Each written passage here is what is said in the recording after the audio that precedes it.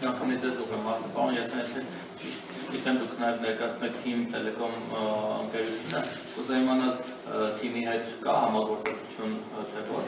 թիմի եւ ԱՏՍՄ-ի միջև, ինչ ֆորմատի է համագործակցությունը, արդյոք տեխնոլոգիական զարգացման առաջընթացի օրինակ կապի որակի բարելավման առումով որոշակի քայլեր արվում են մասով եւ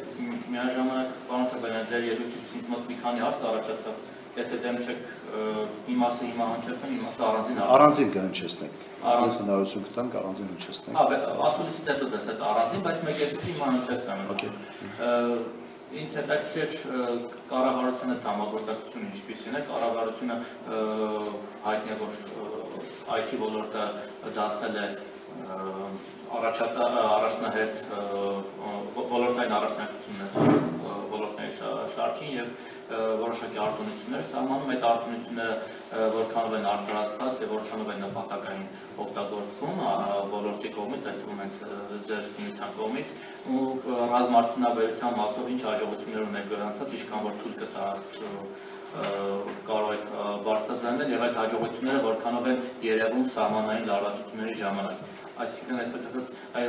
այստեղ ոլորտում գրանցած հաջողությունները որքանով են հաջողություններ գրանցում սահմանը, որովհետև այդ մասով շատ բան չի բարձրացնում, շատերը հարցնում բաղոր են մեր ԱՏՍ-ները, մենք ցուցահանդեսներին տեսնում ենք տարբեր բաներ, ռազմարտունաբերության ոլորտին առաջվող, բայց կիրառման մեջ մենք չգիտեմ դրա արդյունքները որքանով են շոշափելի տեսնում։ Շնորհակալություն հարցի համար ուղղակի մի բարձաբանում եմ, ստեղ ես ներկայացնում եմ ԱՏԶՄ-ն որպես ԱՏՎԾՄ-ի նախագահ, եւ նույն ժամանակ նաեւ հանդիսանում եմ Զելեկոմ Արմենիայի բաժնետեր։ Զելեկոմ Արմենիան թիմ ընկերությունը հանդիսանում ԱՏԶՄ-ի անդամ հենց ստեղծման օրվանից եւ իհարկե որպես ոնց որ մեր մյուս 130 ընկերությունները, անդամ ընկերությունները շատ հետաքրքրված է եւ շատ ներգրավված է բոլոր այն ծրագրերին, որ ԱՏԶՄ-ն իրականացնում է։ Նաեւ ինչպես պարոն Չովանյանը նշեց, իրականացնում մասնակցում է Digitech-ին որպես սպոնսոր, բայց բացի դրանից որպես ընկերություն Հայաստանում գործող ընկերություն, այն ռազմավարական ծրագրերը, որ ունենք ԱՏԶՄ-ում, միանշանակ Telecom Armenian ոչ միայն աջակցում, այլ նաև հնարավորինս մասնակցում է թե կարողացա պատասխանել ձեր հարցին։ Առումով թիմին աջակցություն կա։ ԱՏԶՄ-ի կողմից ինչ որ կոնկրետ ծրագրեր, որ իրականացրել ենք միասին, ցենց դժվարանում եմ մտաբարել, բայց ոնց որ բոլոր մեր մյուս անդամ ընկերությունները նույն նույն նույն ձևել Telecom Armenian։ Գուցե բան ես ան եթե հարցեր կան տակ, հետո ես իմ հարցերին կանդրադառնամ, հա։ Անդրեյ Նավիստան ընկերություն, պարոն Սանդել խոսքում նշեցի կրթության առաջարկության մասին։ Ինձ հետաքրքիր է օրինակ ինչպիսի կրթական մոդելներ եք դիտարկում, արմատում, որը գերազանցորնակ նախորդ տարվա կրթական ռազմավարությունների Շատ շատ լավ։ Ես ինչպես նշեցի, նու պարոն Չաբանյանը արդեն ասաց, որ ԱԹՍ-ների նոր լաբորատորիաներ են բացել, որը հնարավորություն է տալի երեխաներին ոչ միայն հենց ինժեներական ուղղվածություն, ավելի խոր ուղղվածություն դեպի ԱԹՍ անօթաչուց թռչող սարքերի մոդելավորում, դրանց գործարկում, այդ ուղղությամբ ավելի խորը կրթական ծրագրի մասնակցել, բայց դրանից բացի մենք հիմա շատ խորը մտածում ենք հենց արմաթի ինժեներական ծրագրերը ավելի նոր տեխնոլոգիաներով հագեցնել, քանի որ գիտեք արմատը մենք արդեն 12 տարի ավել ունենք այդ ծրագիրը եւ հիմա շատ ակտիվ քննարկում ենք այսպես ասած արմատ երկու անունը դնենք, որ ավելի նոր տեխնոլոգիաներ թույլ կտա ներդնել թե սարքավորումների տեսքով, թե ծրագրավորման ծրագրավորման ապահովման ուղղվածությամբ եւ ավելի բարեկարգեր արդեն իսկ ծրագիրը սովորել են basic հիմնական ծրագրավորումը ու մոդելավորումը, դրա վրա նաև սովորելուց հետո անցնել ոնց որ երկրորդ փուլին ավելի խորացված գիտելիք ստանան։ Դրա համար հիմա շատ ակտիվ աշխատանք ենք կատարում, որպեսզի կարողանանք թե բյուջեով իրանց կարողանանք նենց անել, որ կամ massայական թարմացում անենք, կամ էլ բյուջեի մեջ տեղավորվենք։ Հուսով եմ, որ շուտով կունենանք արդյունքներ, ինչի մասին հավելյալ կներկայացնենք, բայց այդ ուղղությամբ շատ ակտիվ աշխատում ենք։ Միության շրջանակներում կան նաև ինժեներիայի ոլորտի ընկերություններ, որոնք է ծավալով այդքան շատ չեն, բայց աջակցության նաև կարիք ունենք, որովհետև այն պատճառով, որ նախորդ այդքան զարգացած չէ, երկրորդը երևի այդ մեկնակային միջոցների կապիտալի ավելի շատ կարիք ունենք, քան ՏՏ ընկերությունները հիմնականում, որովհետև նաև սարքեր, նյութեր պետք է ձեռք բերեն։ Այստեղ արդյոք գնահատում եք այս տարվա համար ինչ-որ աջակցության ծրագրեր, ասենք, եթե բրդային նախարարությանը ինչ-որ առաջարկներ արել ժողովրդությամբ եւ եթե կարող եք նշել այդ աջակցության սխեման, որը բտան մշակել է venture-ային ծրագրերը ստարտափ ընկերությունների համար աջակցության նոր ծրագիրը նա միայն դեպի ընկերություններին է վերաբերելու, թե նաև հարվերի եւ էլեկտրոնիկայի եւ նույնը այդ հարկազատման ծրագիրը 5 տարվա որը նաև ձևափոխված շարունակվել է նաև այս տարի, այն վերաբերելու է կրկին միայն դեպի ընկերություններին, թե նաև ոլորտին։ Ես փորձեմ առաջի մասով պատասխանեմ, երկրորդ մասով խնդրեմ պարոն Չոբայանը ավելացնի իհարկե դուք ճիշտ նշեցիք ինժեներական ոլորտի զարգացումը ավելի կապիտալ պահանջող ուղղվածություն է ու նաև մեր երևի քարտեզային դիրքից, հա, որ ճունենք տրանսպորտային լայն հնարավորություններ, ավելի դժվարացնում է ինժեներիայի զարգացումը, սակայն մենք մյուս կողմից IT ուղղվածությամբ ունենք շատ լավ գիտելիք, օրինակ չիպ դիզայնի, չիպերի հնարավոր պոտենցիալ արտադրության, խոսքը չի գնում 5 նանոմետր կամ 3 շատ զարգացած չիպերի, այլ ավելի քիչ զարգացած, որոնք շատ մեծ շուկա ունեն, հա, ուտեղ կարծում եմ մեր երկիրը ունի մեծ պոտենցիալ։ Այսինքն կան ինժեներինգ ինժեներիայի ուղղությամբ կան նիշաներ, որտեղ շատ մեծ հնարավորություններ կա մեր երկրի համար, ինձ թվում է պետք է ավելի կենտրոնանանք այդ ուղղությամբ, ու այսօր Հայաստանում կան ընկերություններ, որոնք արդեն գնացել են ավելի խորացված, ասենք մենք բոլորս գիտենք իհարկե Synopsys, Mentor Graphics, մյուս այն ընկերությունները, որոնք Հայաստանում անում են իրենց chip design-ի մի հատված աշխատանքը, բայց այսօր ունենք նաև ստարտափ ընկերություններ, որոնք արդեն փորձում են իրենց product-ը ստեղծեն, ոչ թե գլոբալ ինչ որ մի ընկերության product-ի մեջ ինչ որ նիշ են փակում, այլ ստեղ ամբողջությամբ փորձում են իրենց product-ը ստեղծել։ Դա մեծ մեծ հնարավորություն է մեր երկրի ու նաև հնարավորություն այն առումով, որ մեր մոտ կա գիտելիք, հա, այդ այդ միջազգային ընկերություններից դուրս եկած երեխաները կամ աշխատակիցները կամ մարդիկ, ովքեր ունեն գիտելիք, փորձում են իրենց ընկերությունները ստեղծեն։ Հիմա այդտեղ միանշանակ պետք է աջակցություն, քանի որ նման ոլորտում կոնկուրենցիան շատ մեծ է։ Եվ այդ դրա շրջանակում եթե սկզբում չլինի աջակցություն, միանշանակ դժվար է բիզնես case գտնել ու տեղ ներդրում անել այն սկզբից։ Այդտեղ կարծում եմ մենք էլ ավելի ակտիվ պետքա լինենք, ճիշտ նշեցիք, մենք այդ ուղղվածությամբ շատ ծրագրեր չունենք, բայց դա ոնց որ մեր օրակարգում է ու քանի որ կա դրա հնարավորությունը, նաև տեսնում ենք պոտենցիալը այդտեղ, այսինքն ոչ թե ուղղակի որ վերցնենք ինժեներիայի ուղղություն փորձենք այդտեղ ժամանակ ծախսել, այլ կոնկրետ ինչ որ նիշաներ ուտեղ մեր ժամանակը ծախսենք։ Այդ մասով կարծում եմ մենք այս տարի ունենք շատ անելիք։ Այն երկու հարցով խնդրեմ պարոն Չոբյանյան։ Հա, ես շարժվեմ, եթե կարելի է։ Ձեր թույլտվությամբ պարոն Չոբյանյան պատասխան։ Շատ լավ, ուրեմն ջրի ճարտարագիտության հետ կապված կամ ինժեներիայի հետ կապված շատ կարևոր է ֆիքսել հետևյալը որ ինքը ռազմավարական նշանակություն է Հայաստանի համար։ Եվ այդտեղ եւ այդտեղ ավելանում է եւս մեկ ուղություն ռազմավարական նշանակության, որը շատ ավելի թույլ է զարգացել, դա բարձր տեխնոլոգիական արդյունա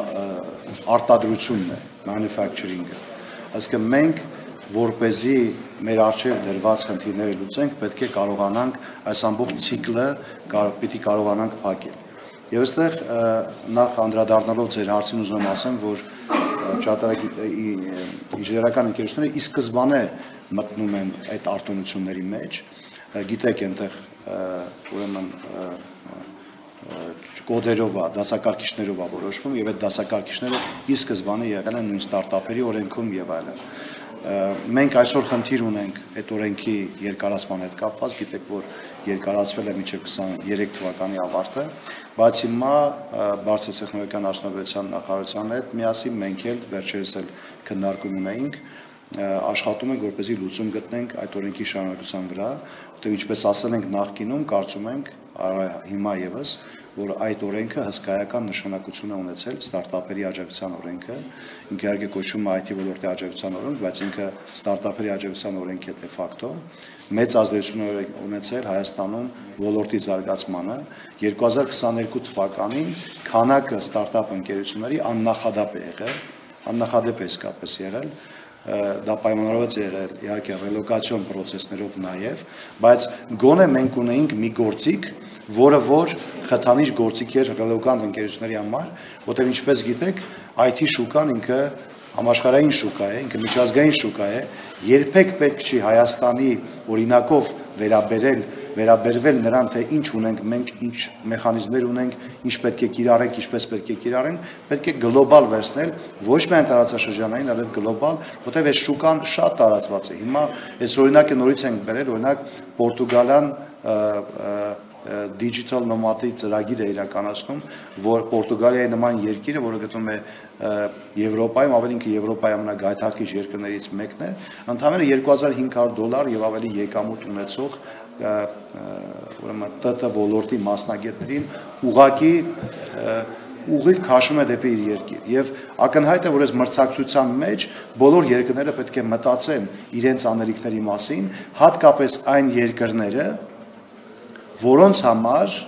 տեղեկատվական տեխնոլոգիաների կամ բարձր տեխնոլոգիաների ոլորտը ռազմավարական նշանակություն ունի ինչպիսին Հայաստանի դեպքում է անդրադառնալով մյուս ձեր գործընկերոջ հարցին ինքը այստեղ չի Հա, գուցե այդ դեպքում այդ հարցին հետո անդրադառնամ, եթե ուրիշ հարց կա, լսեմ, հետո իր հարցին իր ներկայությամբ կանդրադառնամ։ Համեցեք։ Աջոբրան 2020 թվականին երբ Կարեն Վարդյանը հարցազրույց է տվել նշել էր, որ իշխանությունները ավելի շատ փորձում են հա արվելություն տալ Թումոյի Թումոյի, քան օրինակ հարմատ ապարատուրան։ Հիմա ինչպիսին է վերաբերվում հարմատի նկատմամբ եւ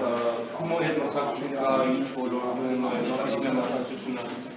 Ուրեմն բարեբախտաբար Հայաստանը ունի մի շարք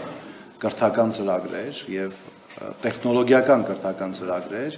որոնք բոլորս հպարտանալու կարիք ունենք որովհետև բոլոր երկրները չեն, որ նմանատիպ ֆորմատներ ունեն։ Ես կարծում եմ, ինչպես արմաթը մեզ համար առանձնահատուկ նշանակություն ունի որպես ազգային ծրագիր եւ ռազմավարական ծրագիր, այնպես էլ Թումոն առանձնահատուկ նշանակություն ունի եւ մենք մրցակից չենք, մենք գործընկերներ ենք։ Առանձնահատկությունների տեսանկյունից Թումոն ավելի ուրեմն մուլտիմեդիա ուղղության վրա է ներգրավում երեխաներին, մենք ավելի կոմպլեքս ինժեներիայի ուղղությամբ ենք ներգրավում երեխաներին եւ մենք գնում ենք յուրաքանչյուր գյուղ, յուրաքանչյուր դպրոց։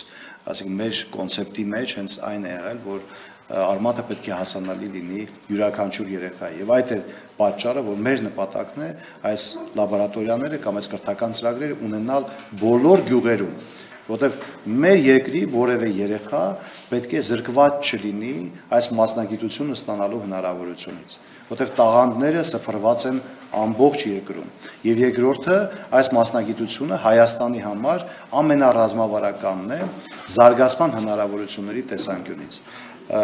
2020 թվականից սկսած հատկապես ամենախոշոր ներդրումը եղավ 2000 19-20 թվականներին կարծում եմ կառավարությունը վերցրել է իր վրա արմաթի բոլոր օպերացիոն ծախսերը, այսինքն դա ըստ էության այսօր պետություն մասնավոր համագործակցության ամենամեծ ծրագիրն է,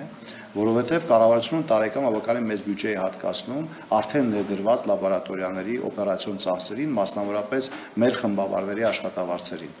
Այո, դա ծրագիր է, որը անդադ փոփոխությունների կարիք ունի եւ զարգացման կարիք ունի եւ մասնավորապես այս տարի մենք կրթության նախարարության հետ քննարկել ենք արմաթի համակարգի ընդհանուր կրթական ծրագրի համակարգի աջակցության, համակարգի զարգացման ուղղությամբ նաև պետության պատասխանատվության խնդիրը եւ իհարկե կառավարության հետ մենք շարունակում ենք խոսել նոր լաբորատորիաների ներդրման անհրաժեշտության մասին եւ պետությունը գտնում ենք, որ պետք է մասնակցություն ունենա նոր լաբորատորիաների ներդրման ֆինանսավորմանը եւս, սակայն գոնե կառավարության կողմից մենք ունենք հաստատում, որ մենք որքան նոր լաբորատորիաներ ենք ներդնում, իրենք իրենց վրա են վերցնում այդ լաբորատորիաների օպերացիոն ծախսերը։ Սկսած նրանից, որ այդ լաբորատորիաները գտնվում են դպրոցներում եւ ըստ էության դրա պահպանման ծախսերը, չգիտեմ, էլեկտրաէներգիա, ջերուցում եւ այլն, իրականացում է կառավարության ֆինանսավորման, վերջացած, ինչպես նշեցի նրանով, որ իրենք վճարում են մեր խմբավարների եւ մարզային համակարգողների աշխատավարձերը։ Եվ ես կարծում եմ, որ սա շատ լավ համագործակցային ծրագիր է, որը զարգացման դեռ մեծ տեղ ունի։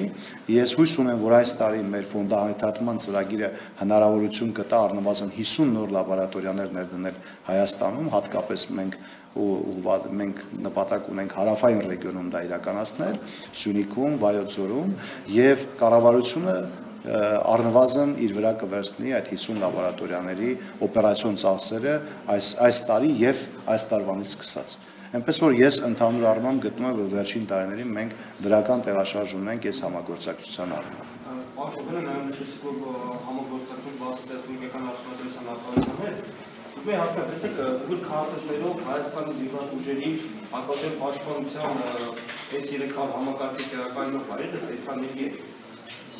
այս այս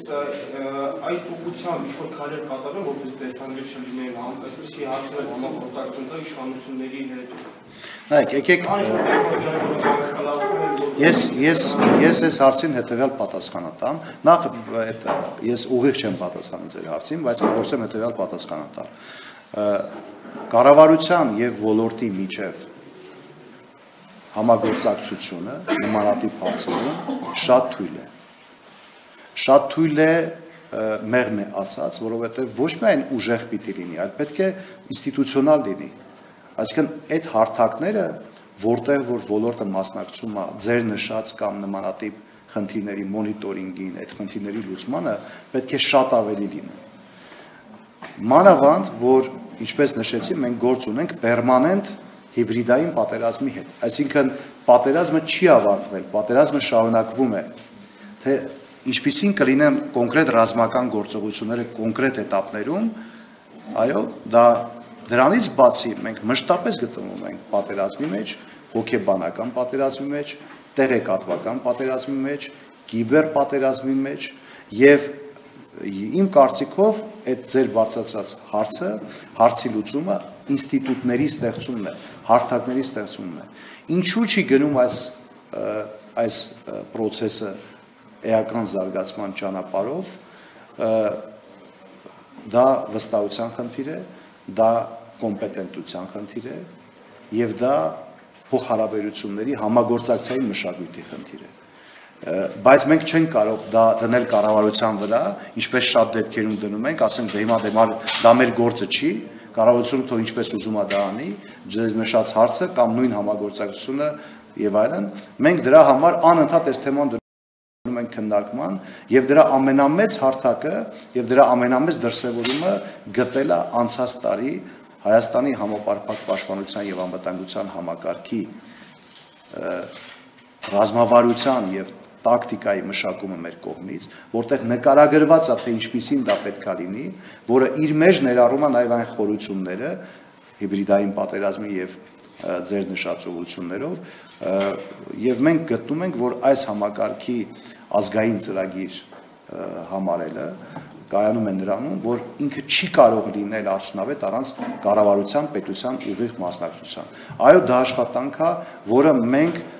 անում ենք, բայց լավ չենք անում, որովհետև արդյունքները շատ վատն են։ Մենք դեռևս չունենք շատ առողջ երկխոսություն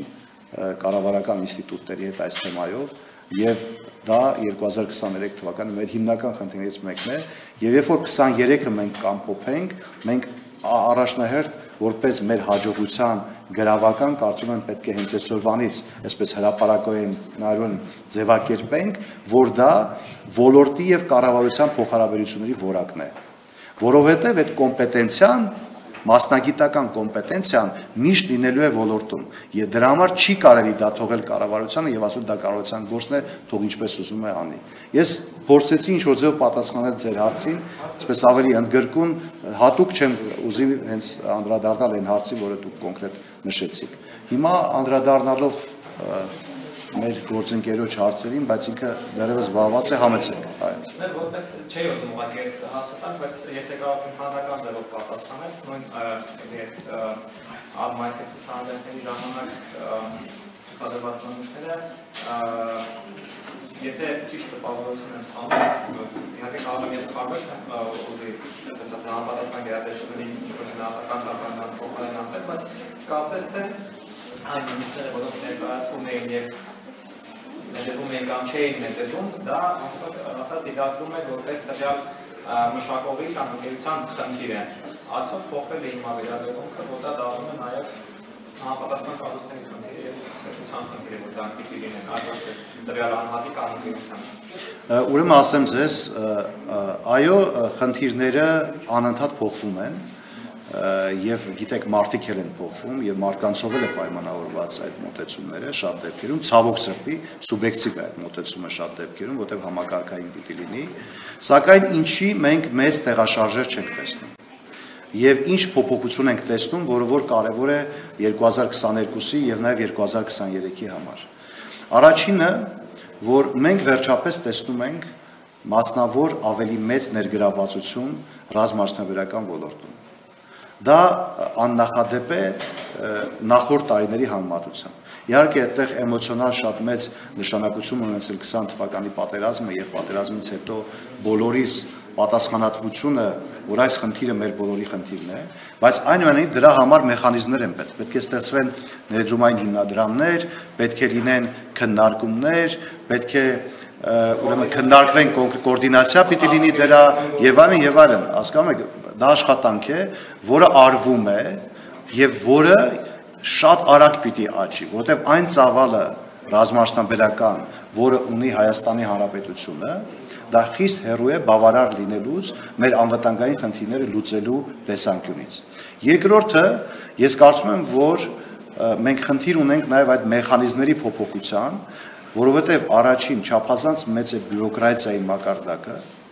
որը այդպես չպիտի չլինի չափազանց մեծ է բյուրոկրատիայի մակարդակը եւ ես ուզում եմ բերել մի շատ այսպես տարածված մամուլում օրինակ, որը գուցե դուք եք կարդացել։ Ուրեմն սովետական միությունը մեկ հայտնի հետախույզ ուներ, որը կարողացել էր այնպիսի հաջողության հասնել, որ դարձել էր մի 7-ի հետախության պետի, անգլիայի հետախության պետի տեղակալ։ Եվ իր հարցազրույցներից մեկում, երբ որ ինքը այսպես այսպեսի բան է ասում, որ երբ որ ես տեսնում եի, որ իմ աշխատակիցները սկսում են գնալ ճիշտ ճանապարհով, ես իրենց վրա լիքը բյուրոկրատական խնդիրներ էի դնում։ Այսինքն, երբ որ դու նայում ես այն բյուրոկրատիային, որը ասենք կա ռազմաշտաբերության ոլորտում, պետական պատվերի ոլորտում, դու հասկանում ես, որ այս համակարգը կարող է միայն վնասել ռազմաշնաբերության զարգացմանը։ Այո, նոր մեխանիզմներ են պետք, նոր համակարգեր են պետք, ավելի ազատ, ավելի տեխնոլոգիական ոլորտին հատուկ ուղություններ, որոնք որ նույն քաղաքացիական ոլորտներում են կիրառվում, ասենք ինչպես որ venture ֆոնդերն են կիրառում, ներդրումային հիմնադրամներն են կիրառում, ուրեմն ընկերությունների զարգացման հարթակներն են կիրառում այդ ինկուբացիոն process-ները, ակսելերացիոն process-ները, որոնք կրիտիկական են Ռազմաշնաբերությունը դա նույն արդյունաբերությունը, դա նույն ինժեներիան է, նույն IT-ն է, նույն էլեկտրոնիկան է եւ այլն եւ այլն։ Դրա համար շատ ճիշտ է, որ մենք այս ոլորտին մոտենանք որպես երկակի տեխնոլոգիաների ոլորտ, հնարավորինս ազատական մոտեցում ունենանք, իհարկե ռազմական կոմպոնենտը փակելով, որովհետև դա պետք է ունենա իր համապատասխան ռեժիմը։ Ես կարծում եմ, որ այստեղ մենք շատ ցածր որակական հատկանիշներ ունենք եւ մենք կառավարության հետ միասին այդ փոփոխությունը պետք է կարողանանք հաղթահարել, որը նշանակում է ինչպես ես սկզբից նշեցի, վստահության կամ անվստահության հաղթահարում, որը նշանակում է պրոֆեսիոնալիզմի մակարդակի բարձրացում, որը նշանակում է համագործակցային տարբեր ֆորմատների ներդրում, որոնք քննարկում ենք եւ վերջին մեր ICT Leaders-ի ժամանակ նախարարությունը բտա նախարարությունը ներկայացրեց մի քանի այդպիսի հարթակների ստեղծման ծրագիր, որը հուսում եմ որ շուտով իրեն կհայտարարեն։ Եթե կարելի այլ ոլորտից ԱԴՆԳ-ի հետ կապված կան օրինակներ, որ կազմակերպում են հա ոչ միայն քրթական, այլ հենց նաև հետազոտական ծրագրի նախաձեռնություններ Երևանն է ամենապես ցայսը օրինակը։ Հացող կան օրինակներ, որոնք օրինակ անցած տարվա ընթացքում են նախաձեռնվել եւ կրկին ոչ միայն միգուցե ա, մաթեմատիկայի համապատասխան կամ ինֆորմատիկայի ուղղություններով, այլ նաև բնագիտական ուղղություններով, ֆիզիկայի, նյութագիտության, մեխանիկայի եւ Դե- Եթե էլի հարցեր կա, խնդրեմ հնչեցնեք, որ արդեն որպեսզի Շատ լավ, ես երկու հարց ունեմ դեռ, որին կպատասխանեմ վերջում։ Ուրեմն ես ինչպես նշեցի, գիտ- գիտահետազոտական ուղղությունը 2021 թվականից սկսած եղել է UAT-ի առաջան առաջնային ուղղություններից մեկը։ Մենք մի քանի ինստիտուցիոնալ մասնակցություն ունենք այդ տեսանկյունից եւ ավելի շատ կուզեմ այդպես նշել, ոչ թե հատուկ հատուկ պրոյեկտներից, պրոյեկտների տասնյակ են ցավոք սրտի ոչ հարյուրավոր, եւ որտեղ գտնում են, որ դա պիտի լինի հարյուրավոր, մենք չենք կարող ոլորտը զարգացնել, եթե գիտահետազոտական ուղղությունը բավարար ուրեմն ծավալներ չունի երկրում, որտեղ մեր երկիրը դիրքավորում է որպես նորարարական բարձր տեխնոլոգիական երկիր, իր տնտեսության ապագա զարգացումների եւ ռազմավարական բոլոր փաստաթղթերը դրա վրա են վրա են հիմնված, դա նշանակում է մեզ համար դա քրիտիկական անհրաժեշտություն է։ Եվ սա մենք պետք է դիտարկենք ոչ թե հայաստանյան, այլ համահայկական տեսանկյունից։ Մենք գիտահետազոտության եւ ընդհանրապես մեր տնտեսության զարգացմանը, տարբեր ոլորտների զարգացմանը պետք է մոտենանք համահայկական կարողությունների տեսանկյունից, ոչ թե Հայաստանի Հանրապետության, ոչ միայն Հայաստանի Հանրապետության կարողությունների տեսանկյունից։ Առաջի հարթակի մասին խոսեցի դա հայկական տեխնոլոգիական ապագաներ համագա- համագործակցությունը համասարանների հետ 5 ռազմավարական ուղղություններով, դրանք տասնյակ ծրագրեր են արհեստական բանականության, STEM կրթության, առաջնորդության եւ այլնի ուղղությամբ։ Երկրորդը մեր համագործակցությունն է գիտուժի հետ, ինչպես գիտեք, ի սկզբանե գիտուժի հենց հիմնադրման մեջ ԱՏԾՄ-ն եւ եւ ԱՏԾՄ անդամ շատ կազմակերպություններ ուղակի հիմնադիրներ են եղել եւ այնտեղի ամենաակտիվ գործիչներն եւ մենք նաեւ ուղիղ համագործակցություն ունենք գիտուժի հետ եւ գտնում ենք որ դա շատ կարևոր եւ արդյունավետ ծրագիր է գիտության պոպուլարիզացիայի, այդ թվում շահերի պաշտպանության, գիտեք, նաև ճնշումները 2000 հատկապես 21 թվականին պետական բյուջեում ծավալների մեծացման հետ կապված եւ այլն, եւ մենք լիարժեք, այսպես մի ուղի ենք այս ծրագրեր եւ դա համարում ենք գիտահետազոտական ասպարեզում մեր հիմնական ուղիներից մեկը։ Եկեք այսքանով սահմանափակվեմ, անդրադառնալով կառավարության հետ համագործակցում ես իհարկե որոշակի անդրադարձեր արդեն կատարեցի հարց ու պատասխանի ընթացքում դրա համար չեմ կրկնվի ընդհանուր առմամբ բայց չեմ չեմ անդրադարձա իրականում դրան չեմ կրկնվի ընդհանուր առմամբ կասեմ հետեւյալը որ ռազմաասնաբերության ը, ոլորտը ը, ստիպված պիտի կրկնվեմ, որովհետև չգիտեմ, եթե լսում եք, երբ որ պատասխանում եք, ռազմաասնաբերության ը, ոլորտը չպետք է առանձին դիտարկել ընդհանուր առմամբ տեխնոլոգիական ոլորտից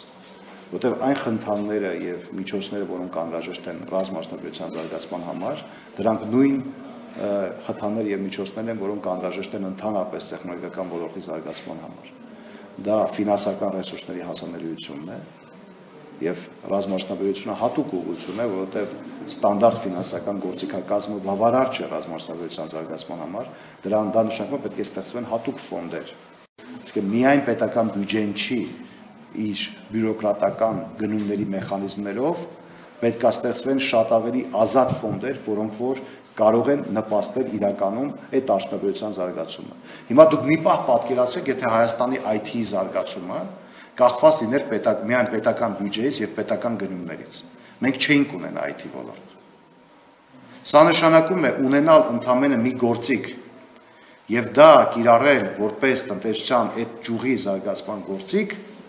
դա ուտոպիա է։ Մտածել, որ դա կարող է զարգացնել այդ ոլորտը։